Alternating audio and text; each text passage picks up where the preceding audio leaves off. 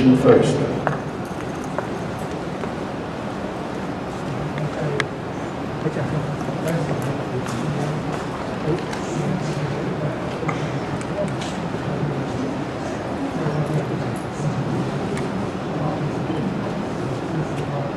So uh, you would have noticed the title of my presentation today is Jews in Shanghai Revisited and Parallels to Canada.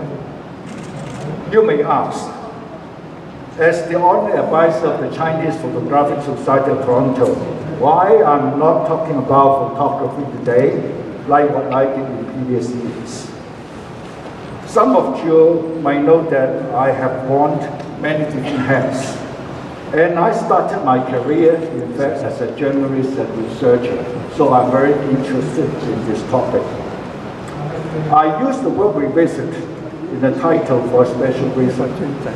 I was in Shanghai last spring, but about two decades ago, as the executive director of the Chinese Cultural Center of Greater Toronto, I organized the Jews in Shanghai exhibition in Toronto while preparing for the project, I did some research of the story by meeting with Dr. Feng Shan Ho's daughter, Manli Ho, in both Winnipeg and Toronto, and also with Dr. Huang Pan, head of the Jewish Studies Center in Shanghai. I'm going to tell you that the Dr. Ho story later. Dr. Ho was the Chinese-Canadian Consul General to Vienna from 1938 to 1940. And he was called Chinese Schindler because he saved thousands of Jews by issuing visas for them to go to Shanghai to escape Holocaust. The project titled Jews in Shanghai, The Story of Survival it was a great learning opportunity for me. While preparing for the project, I spent my own vacation and my own money as well to do research at the former Jewish quarters in Shanghai in the Hongkou district in 2001. I visited the Jewish Memorial Hall, which was one of the synagogues and talked to the 82-year-old Mr. Fa Niang Huang, who was the synagogue skipper. So notice that's the one of the it was surviving synagogue in Shanghai at that time in 2001 it's the only surviving synagogue. And that's the synagogue keeper, uh, Mr. Wang. And I had a very good conversation with him, I interviewed him. Uh, back, in, back in Toronto, I also had an interview with Leo Hardoon, the son of Silas Aaron Hardoon, the wealthy Jewish businessman and the well-known public figure in Shanghai in the early 20th century. And you notice this building. This is the Shanghai Exhibition Center nowadays. In fact, this site was the site of the Hardoon Garden.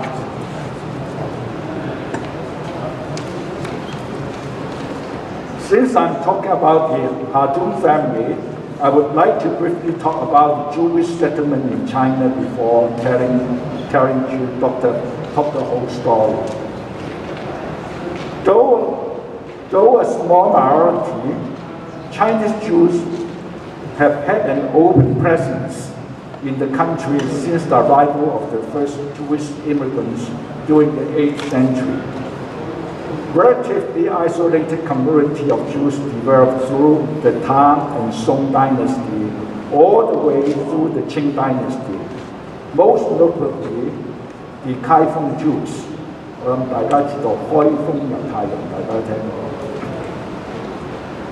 in the 19th and early 20th centuries, Jewish merchants around the world began to trade in Chinese ports, particularly in the commercial centers of Hong Kong, Shanghai, and Harbin. Haiban. Why Harbin? Because it's close to the Trans-Siberian Railway. You might have learned of some of the famous Jews in China during this period of time. The Hardoon family, which owns Shanghai's Hardoon Garden, that's the former site of the Hardoon Garden.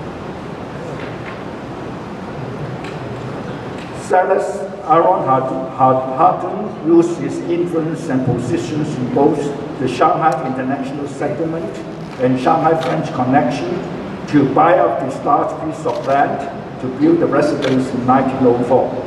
Yeah, that's piece of land.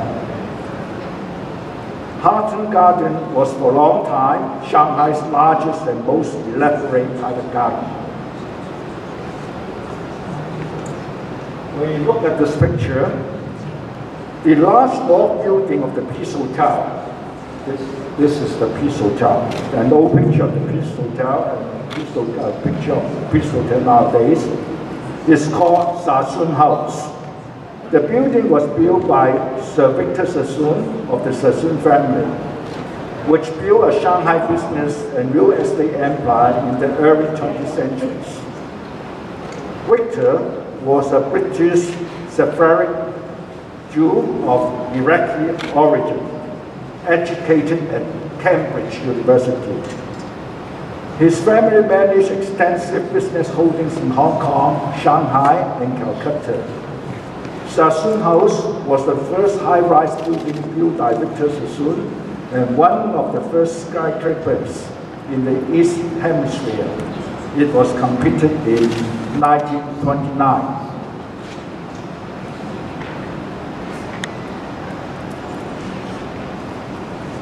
For those, for those of you who came from Hong Kong, you must know the Kadoorie family. The Kadoorie family is the wealthy British family. They are from Quebec. For those Chinese who know what is called Patas, from the mid-18th century, they were established in Mumbai, becoming one of the wealthiest families in Asia. Their businesses were subsequently centered in Shanghai from the mid-18th century and then in Hong Kong from 1949 onwards.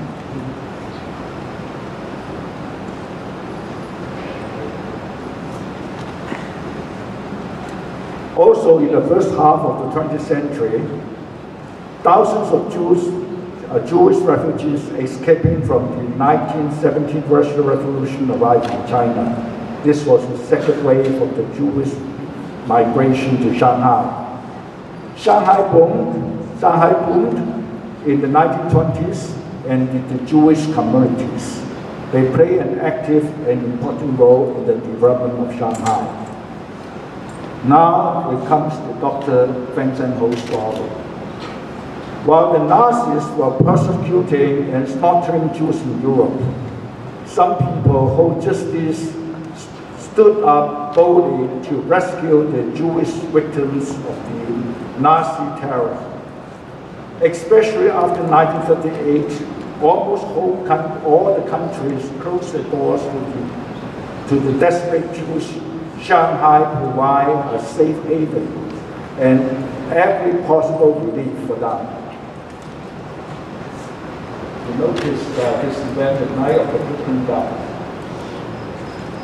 And uh, over 200 synagogues were destroyed, and 30,000 Austrian and uh, German Jews were sent to concentration camp. So for things like that, for the war, for the prosecution, you know, it happened just so fast.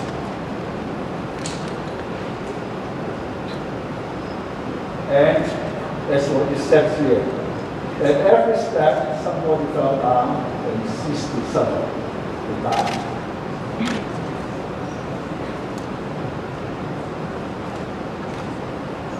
Chinese diplomat. At that time, there's a Chinese diplomat who's the Consul General of the uh, Republic of China, not People's Republic, because at that time the People's Republic has not been, uh, was not established yet. Dr. Feng Shan Ho was the consul general and he was stationed in Vienna.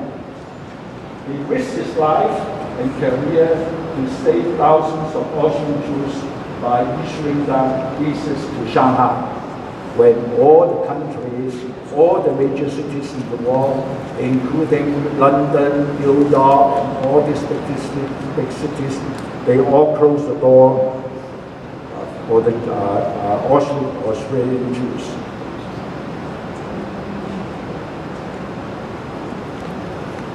So by the outbreak of World War II, nearly 70% of the 185,000 Jews in Austria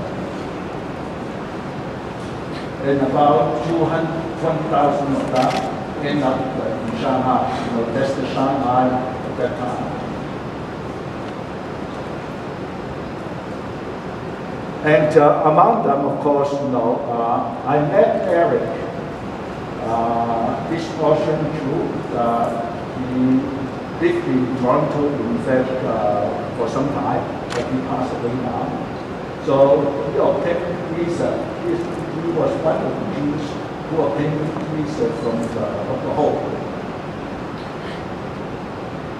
And uh, if you go to the Jewish Refugee Museum in Shanghai, in the area, you will notice there's a small plaque you know, with the